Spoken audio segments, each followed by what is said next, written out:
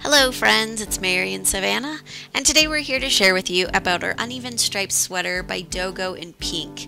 This is a wool acrylic blend sweater, so it's very soft and cozy, and it has a cheery pattern in shades of raspberry, pink, and ivory. And it's a great hoodie style that is lots of fun. It has a lot of design elements that are toasty and fun.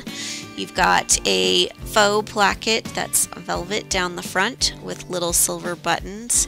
The cuffed sleeves will lock in warmth, and I love the little raspberry pom-pom, which is super fun.